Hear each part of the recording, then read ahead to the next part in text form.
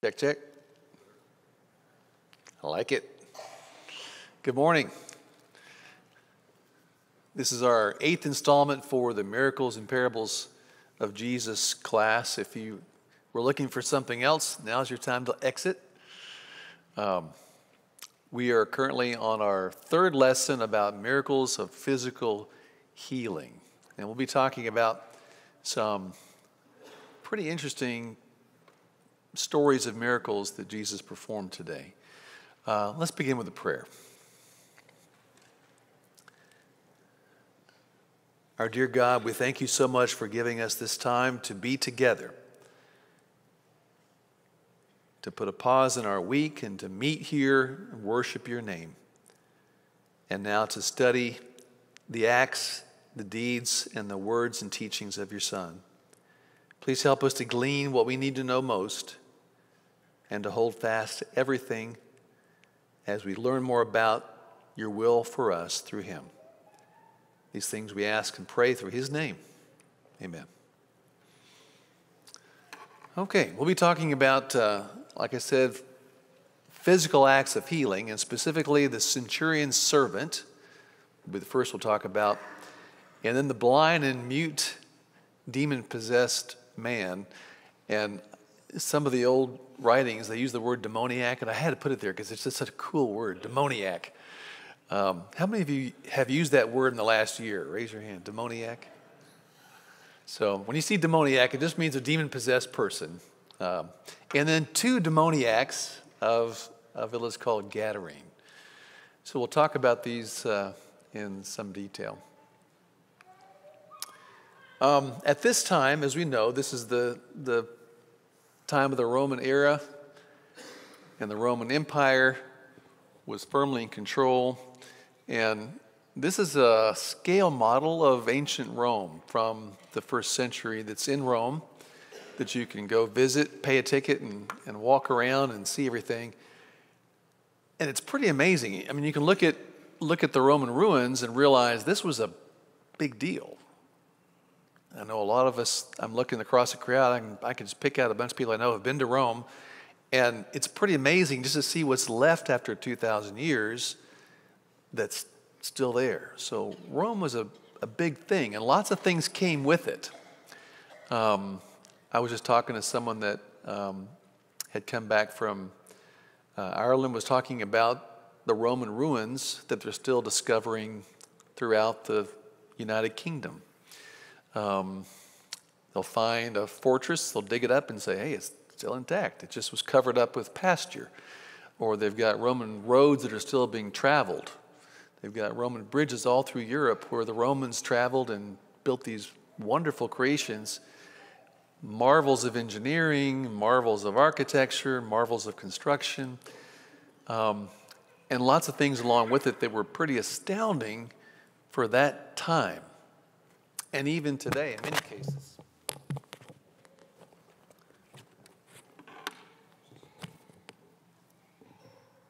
Speaking of technology, engineering, or the lack of it, I just have two small ears. That's what it is. I can promise you that. I've been to the Pantheon, in, and this is a domed structure that was, it's made of concrete there's no reinforcement within it. You know, when we build a concrete structure, we put these iron bars in there, rebar, to help hold it together. And this building doesn't have any metal inside the concrete, it's just concrete. Um, and you look at the engineering of it, it's a, it was built before Christ. Um, and it's a magnificent structure to go inside just to see it. But when you look at the cutaway views of it, you think, how did they know to do that? They built tapering walls and they used an aggregate that became lighter and lighter as it got to the top. The very top is only four inches thick around that skylight circle, and it's still there. It's been there through how many earthquakes? And it's just amazing. So Rome had a lot going for it. In fact, after the period of the Romans, when they got to the Renaissance era, people didn't know how they built it. They thought it was magic. There's all kinds of stories came up about how the Romans built this thing because they had no clue. So it took modern engineering to figure out some of the things they've they've done, but they still don't know exactly all the details of what they've done to make this last because our concrete doesn't last 2000 years. Right? Theirs does. Despite all this, Rome had some issues around the time of these physical healings that we're going to talk about. Um, the Roman Empire was very expansive. As you know, it was most of the civilized world except for East Asia and Far East, Far, Far Asia. A total of 75 million people were Roman citizens, which means about 25% of the world were Roman citizens. That's crazy. It's a very large organization by anyone's standards. And one out of five of those people lived in a city of some kind. They were, this, was, this was not an agrarian um, kind of government. They depended upon all the countries they conquered to be the farmers. And they did a little farming in Italy, but it wasn't enough to support all of this.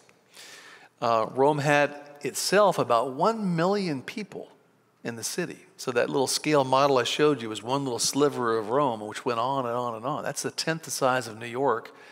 Hard to think about that at the turn of, of, uh, of that first century.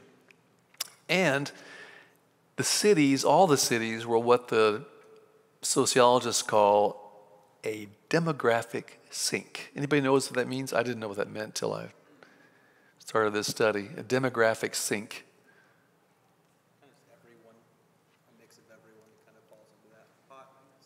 Oh, that could be because there was a people from all over the Roman Empire. The phrase, the term means that people go in and they don't come out. It's a demographic sink. And the reason for that is that it was the death rate in Rome was really high, and all the cities were really high. So people went in and they had to be replaced with other people coming in because they died a relatively early death. Despite having all these modern marvels of Rome at the time, they had plumbing, but it was lead pipes. We don't do that for a good reason. Um, they had some sewage, and they had some things about their sewage that were not very good too. Um, so it was a problem. Only about half of children actually reached adulthood. High child mortality. And life expectancy, amazingly, I didn't know this, was 22 years. So uh, Rome was not really a place that um, you'd want to be. Dense urban population, poor sanitation, that's a bad recipe for public health issues. And they had many public health issues. Um, epidemics, there were nine recorded, and these, I, you could call these pandemics because it was the entire Roman Empire that had smallpox and all kinds of other communicable diseases that went through the entire Roman Empire and wiped out up to a third of the people sometimes. Um, nine major pandemics that happened from 40 BC until about 148 BC that were recorded. And it wasn't just the poor people. The most famous was uh, Emperor Marcus Aurelius, had 14 kids, only two got out of childhood. So it happened even at the highest levels that these kind of things happened. When we were there, uh, I didn't know the correlation at the time, but um, there's a bunch of different kinds of specialized swords that Roman soldiers had. Gladiators had all kinds of things that had these Latin names. And uh, the Kopis sword, the Falcata sword, the Spatha sword, all the different shapes and so forth, but they were based upon the length of the soldier's arm. And so archaeologists can look at the swords that were found and what the date era that they were, and they can figure out how tall that person was pretty closely. Um, and I was looking at one of these swords in a case, and it said it was based upon the length from here to here, and it was some factor they multiplied. I looked at the sword, and I put my arm beside it. I thought, that was a little dude. Had to be four foot 11 or less. I mean, you know, and this was a, we think about Roman soldiers, you know, they were all small because of all these bad health things going on. So, this is not a healthy time to be living in the greatest empire that the world had ever known. And it was reflected there. So here's the story that we've, this is the, the situation we find ourselves in. Let's begin reading Matthew 8. When Jesus had entered Capernaum, a centurion came to him asking for help. Lord, he said, my servant lies at home paralyzed, suffering terribly. Jesus said to him, Shall I come and heal him? The centurion replied, Lord, I do not deserve to have you come under my roof. But just say the word, and my servant will be healed. For I myself am a man under authority with soldiers under me. I tell this one, Go, and he goes. And that one, Come, and he comes. I say to my servant, Do this, and he does it. So here's the, the tone, the, the story that's happening. Um, we'll talk about centurions uh, a little bit after we finish this next two verses, three verses. When Jesus heard this, he was amazed and said to those following him, Truly I tell you, I've not found anyone in Israel with such great faith.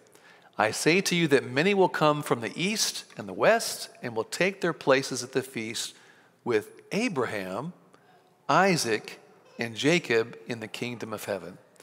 But the subjects of the kingdom will be thrown outside into the darkness where there'll be weeping and gnashing of teeth. And then Jesus said to the centurion, Go, let it be done just as you believed it would.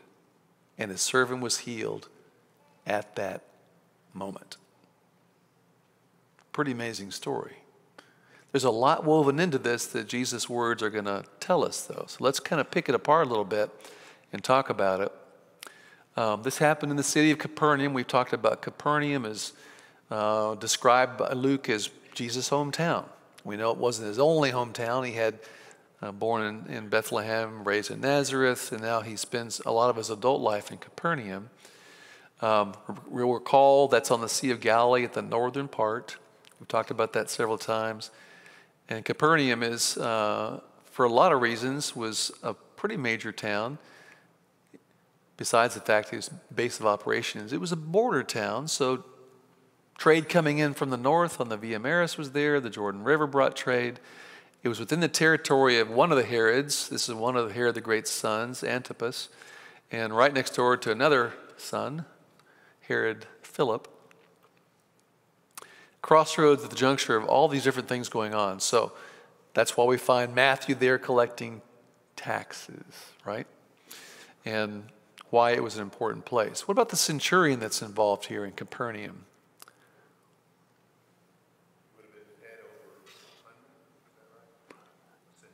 Centurion. So a century, if you're a Think about years, it's 100 years. If you're a bike rider, that's uh, 100 miles, North Carolina.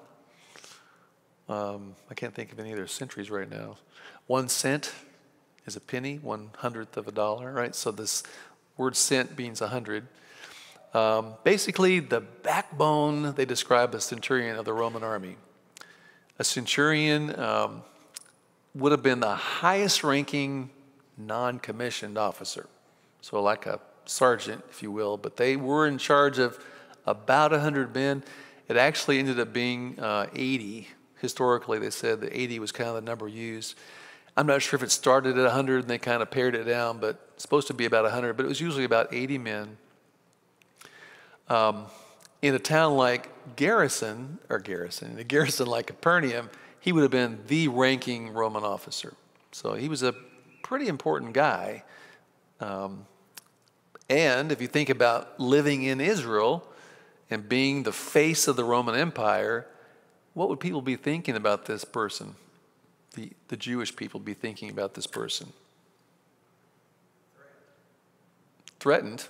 He's got this big Falcatus sword on his belt that he's willing to use whenever he wants to, and he's able to do that. And what else? We know the Pharisees were always talking about, oh, we, we're under the Roman thumb. When, oh, when will the Messiah be here to save us from these Roman scumbags, right?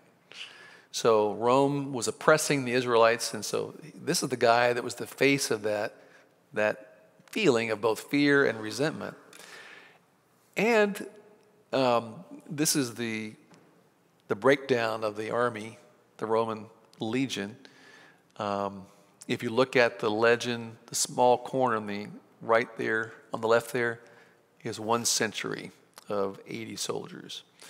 And they make further gatherings to make this collective legion. Um, you probably, if you've watched The Chosen, um, they've got a headdress like this on the centurion that's featured in that show, and it's historically correct. It had across the top of the head like a like a C, sort of, in different colors to show their different orientation. But this is a centurion from the Roman army. So here's a centurion that's the face of the Roman government and, and empire who's coming to Jesus, one of the subjugated people of Israel that he's heard about. Does that seem kind of strange to you in and of itself? It would to me. I mean, this is someone who's, who's basically, you know, in, in charge. If you go through the New Testament, there are seven different centurions that are talked about in the New Testament. This is just one of them. Um, can you think of any others just off the top of your head? I'm not going to ask for. Mm-hmm.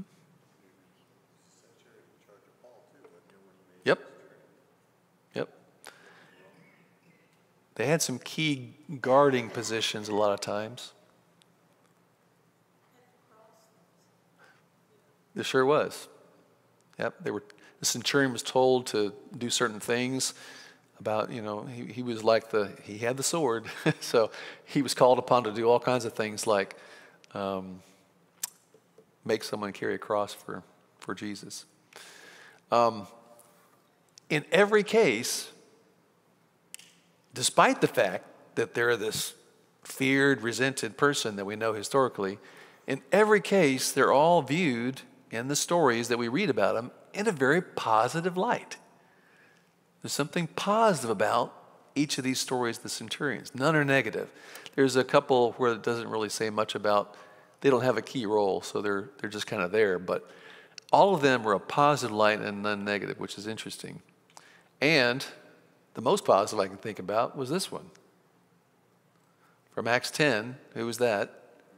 Cornelius. He was a centurion as well, with a name, and he became the first Gentile convert. So it's just kind of interesting. The one that we're reading about doesn't is not given a name in the Matthew account or the other accounts. This particular story is also found in, in Luke as well, with some other details. Um, despite him being a Gentile, unclean, and none of these Israelites would have wanted to eat with this guy or be seen being too chummy with him, despite that kind of a barrier between the peoples, he was regarded with gratitude and some respect. We just read in the story. Why was that? He built their synagogue. Hmm. Why would he have done that?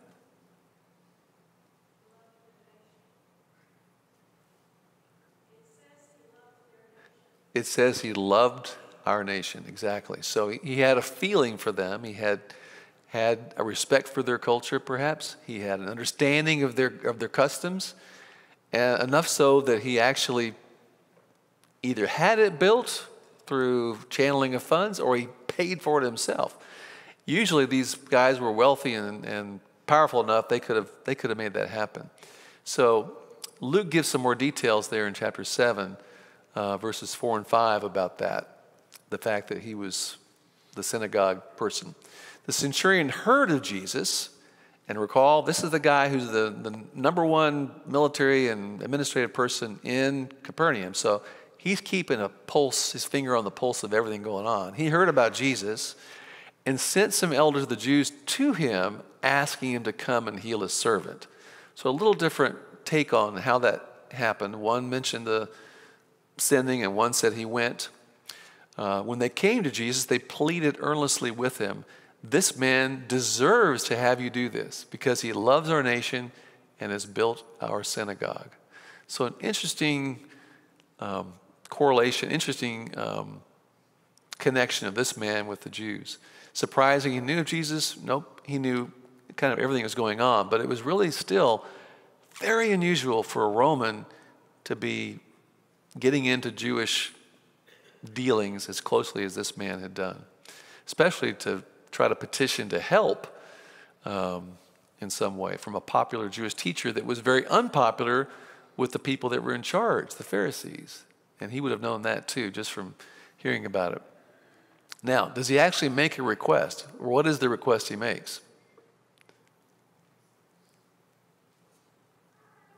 In Matthew's account, where he's actually speaking to Jesus, what's his, what's his request? Okay? Yep.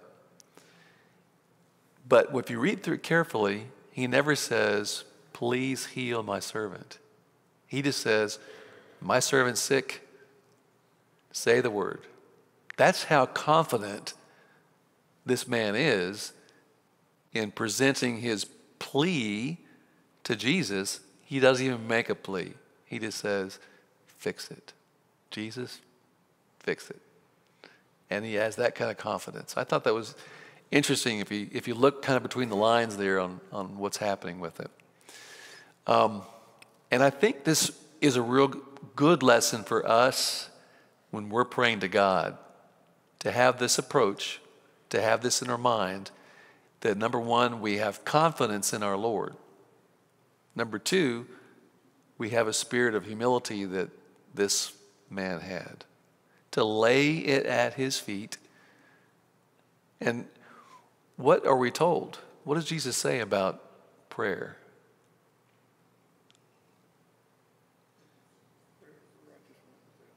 Prayer of a righteous man availeth much. Yeah, we're told pray with faith and confidence. Don't pray with a lack of confidence. We're talking about our Heavenly Father who's given us everything. Act like it and feel like it. So that's how we should pray. now, he was in a position where he could have, if he did, didn't think he was going to be successful, he could have bribed him, he could have coerced him. He had lots of weapons to say, fix them or I'll, I'll, make something bad happen. That wasn't his, uh, his, his position. So now let's look at the other side of the coin. He's been presented with this. Jesus has now been presented with this idea that here's a servant that is on death's bed, Luke says. He's about to die. But Jesus is talking to someone who's resented and feared amongst his people even though he's acting nice and he's acting humble. But think about the, the potential ramifications of him getting involved in that. Just on a human standpoint, think about it.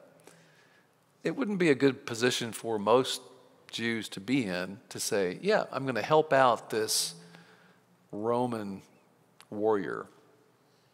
This is someone who's subjugated our country, taken over our sacrifice pigs on some of our altars, um, you know, things that they would consider really pretty dastardly, not to mention the hundreds and thousands of people that have been killed.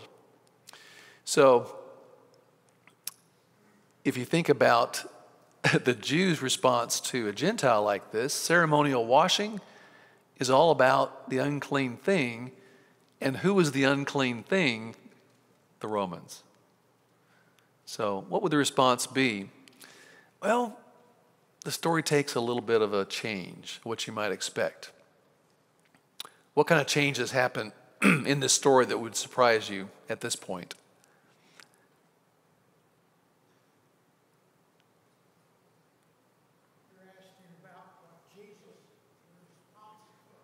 Well, his response, he, he says, Would you like me to heal him? He asks him that. But at this point, what does the centurion say? He calls him Lord. Yeah. And the Greek word there, kurios, is like spiritual master. It's not boss, its spiritual master. So he's professing faith in, in Jesus. But the twist I'm referring to is sounds good so far. He's professing faith, Jesus is acting positive, and then the centurion almost tries to talk him out of it, it sounds like, doesn't it? He said, I, I can't even have you under my roof. I'm not worthy. I'm not worthy. This is coming from a pretty powerful guy in a pretty powerful position who has the right to do whatever he wants to do in this community. And he says, I'm not worthy to have you under my roof. So when this happens, he then really shows his faith coming out when he says, What? Just say the word. Say the word. But it reminds us of 1 Peter 5 and verse 5. God opposes the proud, but gives grace to the what? The humble. So this man is presenting a lot of, of important lessons for us. This Gentile, this man that doesn't not know Jehovah, is knowing Jesus. And he's presenting some important lessons for how we then should live as well. And then he makes the greatest declaration of all when he says, What? Just speak it. I know it will happen if you just speak it. Just say the word. And Jesus' response is amazement. How many times we find Jesus being described as being amazed? Yeah, only two. And this is one of them. Um, the other time it's talked about is also a spiritual concern situation, but it's just the flip side of the coin. Do you remember it?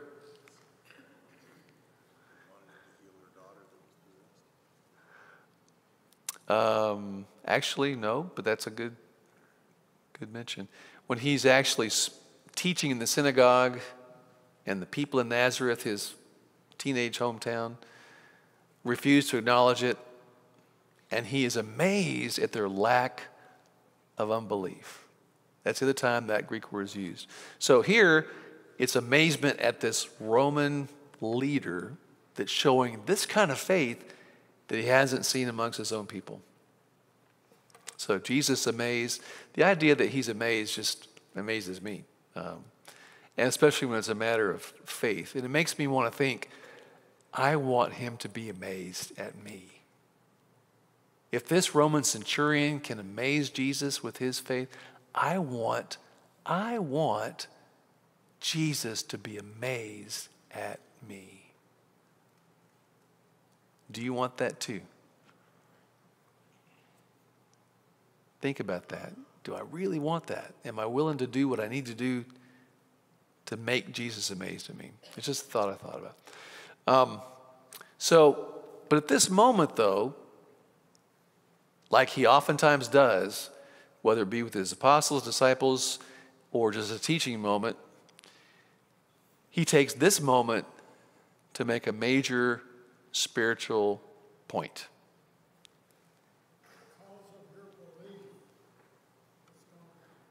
Because of your belief, your faith, it's going to happen. And he talks about the greater picture of east and west. What was all that about?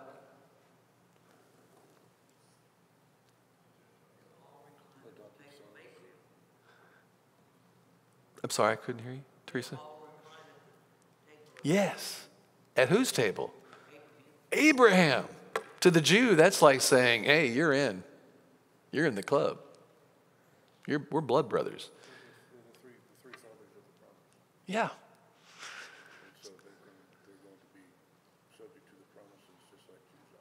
Dan said that's the three fathers of the promises of the Israelites, and they'll be subject to the same blessings and everything else. And one of the blessings we're talking about here is being in the kingdom and being part of God's, God's nation. So, on the basis of faith, not who you were born to, Jew or Gentile, you are invited. so, Matthew 8, I say to you that many will come from the east and the west and will take their places at the feast with Abraham, Isaac, and Jacob in the kingdom of heaven. But the subjects of the kingdom will be thrown outside. Who's that talking about? The Jews. This is sounding pretty, pretty ominous here. Not just left out to come in and get scraps later, thrown out into outer darkness where there'll be weeping and gnashing of teeth. That sounds a lot like other descriptions of hell, doesn't it? So, pretty serious stuff here that Jesus is relating to the current Jews' approach to spiritual matters. And then Jesus says, the centurion, Go, let it be done just as you your faith had indicated. Just as you believed it would happen, it'll be done. And then the story ends. Just kind of wraps up in one nice little, you know, da da. That's it. And it makes it so poignant, I guess, that Jesus just says the word and all it says is, and it was done.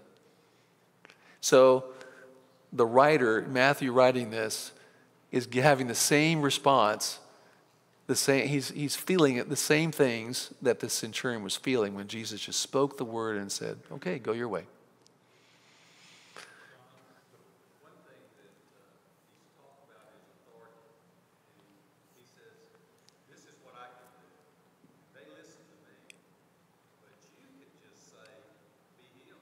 Mm-hmm. That's far greater because you know, he knew that he was not just like he had authority to tell Peter to do this and they go do it, but he also had control over illness and things that we could not see. Yep. Good point. John was saying that Jesus had the authority to make these things happen over distances, didn't have to be there, didn't have to wipe spittle on eyes. He didn't have to do any of those physical things, just had to make it happen. We know in Genesis he was there for the beginning. The world and everything we see in it, the cosmos, was made through him. So he has control over all these things. It's not the end of our lesson, just the end of this segment. So, lessons we can learn from this um, number one, there's no incurables, right? Jesus healed everyone that came to him.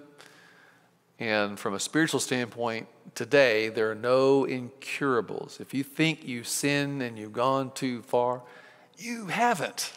That's the wonderful good news. That's what makes it not good news. Great news. the gospel's great news because none of us have sinned irreparably. We're all made new when we have this faith of this centurion man that brought this, this need to Jesus. Another lesson, I think, is there are no specially privileged. Now, in this day and age, who is especially privileged? We can make a list. Give me some of the people on the list of the specially privileged here.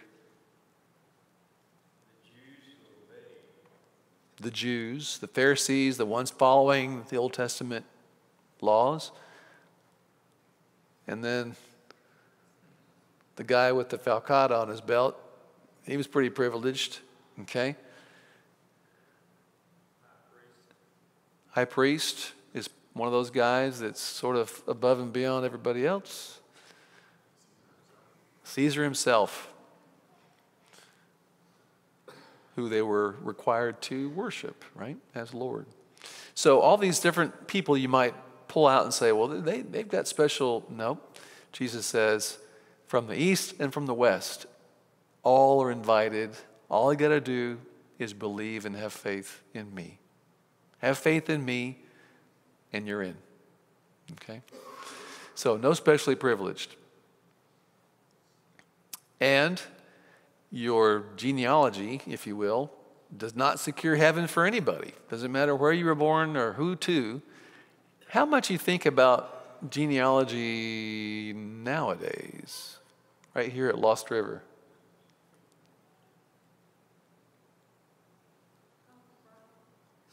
What's that? Uncle Brian. Uncle Brian. Mary said, Uncle Brian. I had to chuckle when Taylor said that. What about when you, and I've said it, You've said it. Oh, yeah, Tim was raised in the church. I was raised in the church. What am I saying when I say that? It might be implied that I'm kind of already in the club because I've, I've been raised in the church. Well, I might not have any personal basis for that faith, but I've been around all my family who has faith and come to church every Sunday, and I've been raised in the church. So Jesus is saying, that doesn't cut it. That doesn't secure you a place at the table with Abraham and Isaac and Jacob. It doesn't. We don't have a genealogy we can look at and say, yep, that does it. And only faith in the Lord Jesus. Only faith in the Lord Jesus. I'll say it one more time. Only faith in the Lord Jesus. That's it. Doesn't matter. All these other things are just not to be counted for. And lastly, these statements that Jesus makes about weeping and gnashing of teeth, I'll use the word woe. Woe to them that trust in anything else. You've got no leg to stand on, and you're facing a pretty ominous end. Okay? I don't want to be there. You don't want to be there. Let's not be there. And then lastly, the faithful centurion came very empty handed. He didn't come, there's nothing he could give to Jesus. Jesus is the Lord of the universe. He came empty handed and recognized that and came very humbly because of that and took him at his word. When Jesus said he's healed, turn, gone, end of story, and he was healed.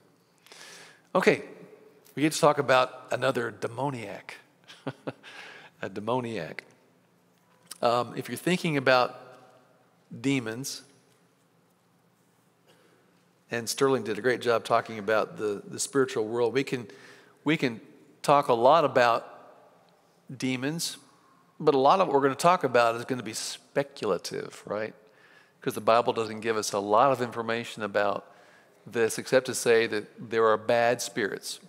We know that the powers and principalities of the world are not our friends. Satan is not our friend, but he's very much alive and well. And sometimes he's representing himself as what? Angels of light. Things that we would say, well, that's not a, that's not a demon, that's not a devil. Um, could be. We don't know. And it's probably not a, a wise thing to be getting too much into speculative things about spirits, except to know that they are here. And Satan is an active being. It's not some cartoon creature and not something that's just we read about in the Bible and he's not active. We know that he's like a what?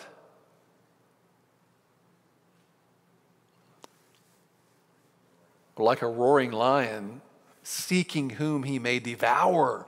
So that's not something to play around with, and it's a real active, ongoing thing. But if we start looking for speculative details, it is speculative detail, and we might get into trouble. So I, I would rather not do that myself. Um, the blind and mute demoniac. I'll keep saying that. Turn to Matthew 12, we'll read about this. Then they brought him a demon possessed man who was blind and mute. And once again, short and sweet, Jesus healed him so that he could both talk and see.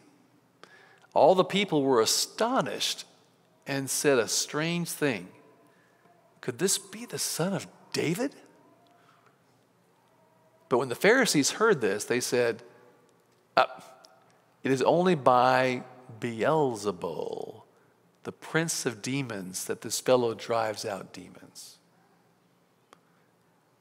Curious comment. Beelzebub. I'm not sure if you can see that or not. You can't see it too well. Down the lower corner, there's some, a bunch of flies. can anybody tell me about Beelzebub?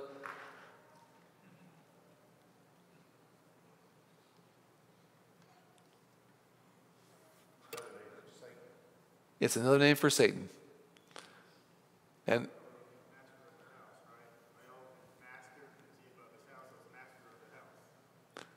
Yes.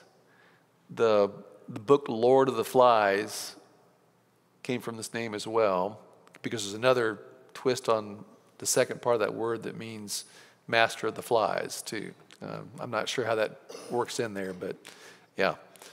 Um, so yeah, Beelzebub, evil spirit, Satan. And the Pharisees are claiming not he did that by some sleight of hand. He did that when we weren't looking. He wasn't really sick, or blind, rather. He, they didn't make any of those kinds of excuses. They just said, we can't deny the miracle, but he did it by the power of Satan. Okay? Did it by the power of Satan instead. Um, can you think of some other times that this accusation has occurred against our Lord?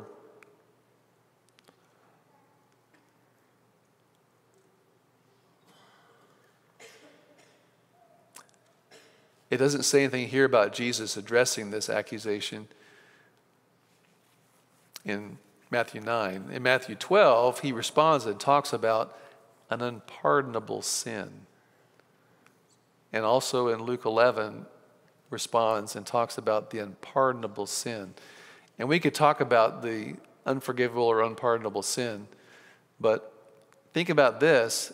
The Pharisees were saying he's doing this by Beelzebub, according to the Old Testament law, punishable by death. They're making a serious claim. They're not just saying he should be put in jail or given a fine or kicked out of town. They're saying he should be killed right now. So, a serious accusation. This unforgivable sin, I'll just, I'll just read this quote blasphemy against the Holy Spirit is unforgivable because it means denying Jesus Christ is who he says he is and denying his gift of salvation. This is unpardonable because you're literally rejecting the only one who can save you. And I would agree with that comment. So we'll stop there. Um, um, I'll just mention they should have noted that this was a sign for them because exorcising demons was a sign of the Messiah. We know from Genesis 3. Another overcoming the Satan like that. And that's a messianic title from Jeremiah 23. And the only other Old Testament character to have driven out a demon was David. So, being the son of David was a link to that when they said, He just drove out a demon. Could this be the son of David? So, thank you for your attention. I want to hear everybody use the word demoniac this week at least once.